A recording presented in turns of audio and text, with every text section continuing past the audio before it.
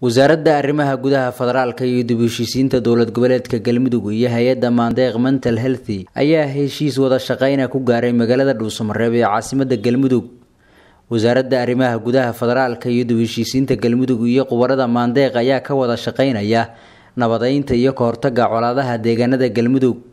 Madashan lagu soo bandhigayay heshiiskan waxaa goobjoog ka ahaa wasiiro ka tirsan dowlad goboleedka galmudug gudoomiyaha gobolka galgaduud cilmi salaad cali xildhibaano iyo agaasimaha madaxtooyada galmudug cusmaan macalim gudoomiyihii hore degmada waaberi oo ah madaxa hay'adda maandeeq mental healthy islamarkaasna ku takhasustay daryeelka dhimirka iyo nabadeynta rawda ayaa ka hadashay baahida loo qabo nabadeynta iyo kahortaga colaadaha balse mar kasta aan la iloobin dhibaatooyinka maskaxda iyo qalbiyada ka soo gaara dadka xilliga ay dhacaan colaadaha iyadoo sii hadlaysay ayay tilmaantay in maandeeq ay kala shaqeyn doonto wasaaradda arrimaha gudaha federaalka iyo heshiisiinta galmudug sidii xal waara loogu heli lahaa colaadaha soo noqnoqda ee ka dhaca deegaanada galmudug.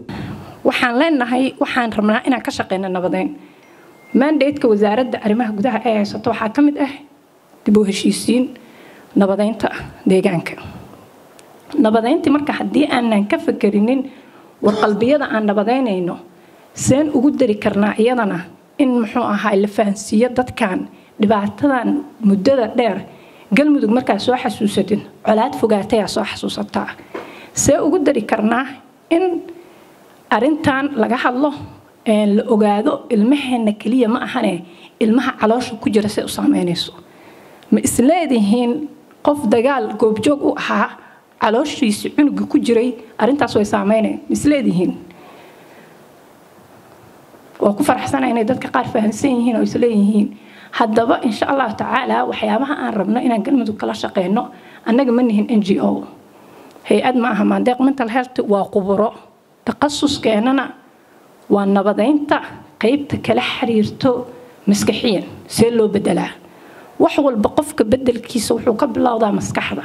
Inaa hami yeelatid waxay ka bilaabanaysaa maskaxdaada inaa isticmaali kartid marka wax kasta oon isticmaalayno waa qeybtan cilmi nafsiga waa qeybtan psychologiga iyo bedelkeeda muxuu ahaay sidii qofkii biniaadanka ahaa naftiisii uu uga fakeri lahaa u ogaan lahaa dagaaladan iyo colaadan inay maskaxiyan saameyso marka waxaan rajeynaa insha allahu tacaala wasaaradaha kalena xiriir waa la sameyn doonaa. Qaar ka mid ah dadkii shacabka ahaa ee goobjooga ka ahay heshiiskan ay kala saxiixdeen wasaaradda arrimaha gudaha iyo hay'adda maandeeq ayaa iyaguna dhankooda halkan ka jeediyey hadallo ku qotoma siday u arkaan heshiiska ay wada gaareen hay'adda maandeeq iyo wasaaradda arrimaha gudaha federaalka iyo dib heshiisiinta galmudug. Runtii roodo soo bandhigtay haddana meesha ku qoran oo boorkaas markaan egna ku qoran. Waxyaalaha hadda ay ka hadashay soomaaliya aada ugu batay kuna badan wax hadda la soo tira koobi karo hadda meeshan lagu soo koobi karo ma ahan waa wax wacyi badan dheer u baahan. Dadkan dagaalladu ku bateen oo qaraxu ku batay oo maskaxdii dad badan ay ku keentay dhimirkoodii inuu maaragtay nusqaamo. Dadku qaybaba sibay ku nusqaantay qaybi siyaasad bay ku nusqaantay oo siday siyaasad u raadinayeen xil u raadinaya ku nusqaameen kuwana waxay ku nusqaaneen qaraxaas iyo dagaalladaas iyo waalidaas.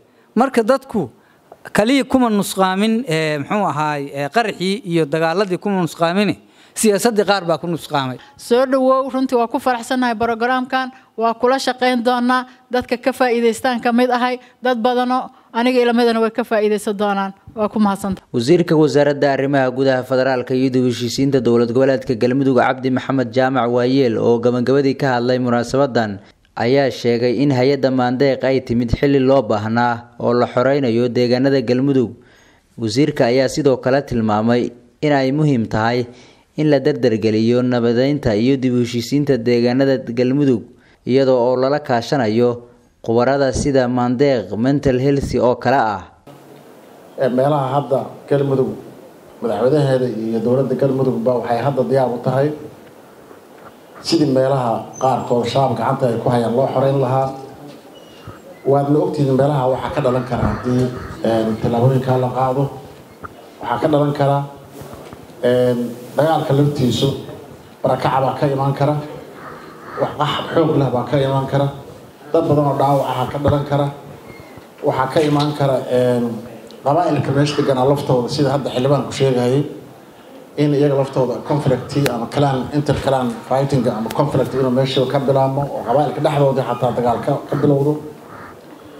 Arrimahaasoo dhan marka loo eego waxaan qabaa maandeeq muhiim bay u tahay muhiim jiddan bay u tahay maanta inay galmudug khubaro aqoontaas leh oo ka qayb qaadanaya dhinacii tolomada ama muxuu ahaa dhibaatada ka soo gaarta colaadaha iyo barakaca iyo qaxa shacbiga ka soo gaarta iyo middan kale ama physicalka ah ama morally ah oo dadku ama meelahoodii ka barakacayaan ama muxuu ahaa ku hantibeelahayaan ama meel dheer ay gaarahayaan oo muxuu ahaa ay tagayaan. Intaba iyo sidii dadkaas looga hortegi lahaa ama loo yareyn lahaa colaadaha oo ka dhex abuurmay.